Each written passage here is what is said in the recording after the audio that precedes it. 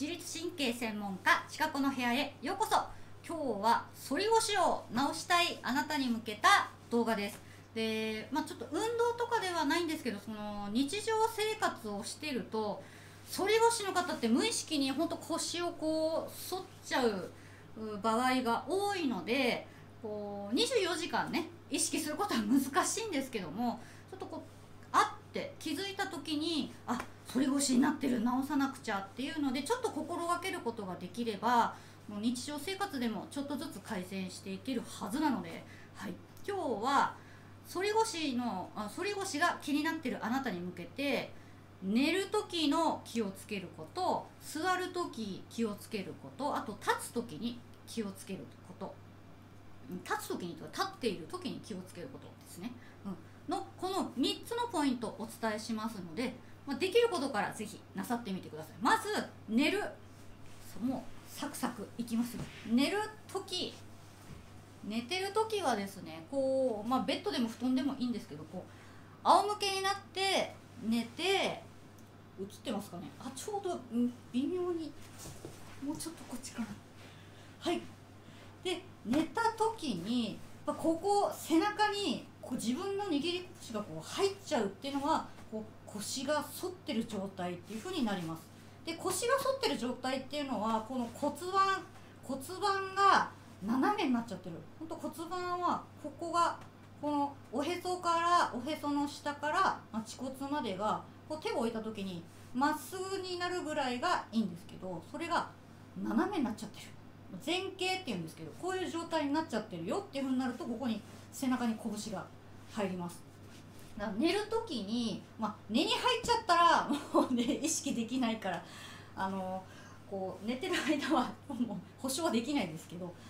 寝る前にあ腰やっぱり反ってるってここが骨盤が前傾になってるし背中にも拳がすっごいもうスルスル入るぞっていう状態だっていう場合はここの隙間を埋める。で骨盤を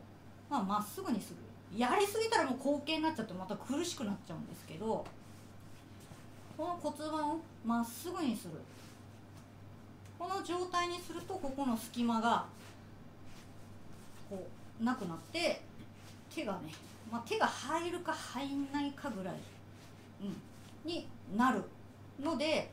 この状態で寝に入るっていうのを、忘れなかったらですよ。もう寝る時にもうなんか何もしないで忘れて寝ちゃいましたっていうのだったらまあそれはそれでいいので気づいた時に あやっぱ寝る時も腰反ってる。わ私って思うんだったらこの骨盤を立てる。でここの背中の隙間をなるべくなくすっていう風にして眠りに入るようになさってみてください。これがま1個目。寝る時。寝る時とか寝方ですね。で座る時。座る時はちょっとこれ横になんないと分かりづらいけど。あいまいち見えないですちょっと正座するか。あ見えますね。座った時に座った時もこのおへそから恥骨までのこのラインがこうなっちゃう。前傾骨盤が前傾になっちゃうとここ腰反ってる状態ってなるのでこの状態をまっすぐにするように意識します。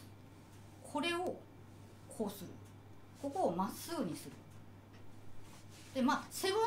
腰の骨はね若干こうカーブ描いてますからここ腰の骨をまっすぐにしようとかと思わなくていいので骨盤ですね。まずはこの骨盤を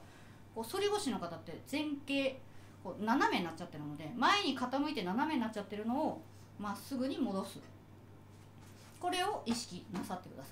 い。で、うんと、反り腰の方はこれが普通の姿勢って、うまあ、骨盤が前に傾いちゃってるのが普通の姿勢と思ってるからこれをまっすぐにしたらあれなんか私背中すっごい丸まってないですか？姿勢悪くないですか？っていうふうに最初なるんですよ。最初なるんだけどでもちょっとあれ背中丸まり気味かな？ぐらいな方がもともと反り腰なんですっていう方はあのちゃんとまっすぐな姿勢。っていう風に感覚的にはねなりますからなんかすっごい背中が丸まってて私姿勢悪い感じするんですけどって思うあなたはもう反り腰がひどいということにもなります。まあね、最初はちょっと鏡とか見てね自分の立ち姿横向きから見てこの骨盤がこうなってんのかこうなってんのか、まあ、ととりあえずこう今日の動画はこの骨盤がこう前に傾いちゃってるっていう方用ですので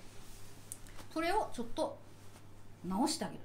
まっすぐに直してあげるっていうことです。で座る時とあと立った時の意識も同じでこうで立った時は足がついてますからまずちょっと顔が全然見えない。立った時は足ついた時に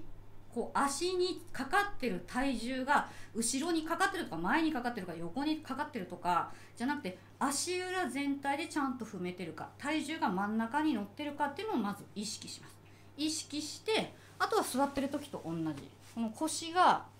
反り腰の方ってこうなっちゃってるのでこれをこう戻します。でこう戻す時に立ってる時に意識するのはお尻の筋肉ですね。だからお尻がお尻って真ん中で通常2つに分かれてると思うんですそれをちょっとピッと近づけてあげるイメージにすると骨盤も斜めになってるのがまっすぐになりやすいのでただ骨盤を立てなきゃ立てなきゃっていうよりもこう立った時は特にお尻を意識するっていうのは大事。で足裏全体でちゃんと踏むっていうのも大事です。だから反り腰が気になってて日常生活でこう簡単にね何か意識できないかなって思っていた。あなたはこの寝方座り方立ち方この3つのポイントを今日お伝えしたのではって気づいた時に是非なさってみてください。はい。今日の動画いいなと思ったらいいねボタンとチャンネル登録もお願いします。本日も動画をご覧いただきましてありがとうございます。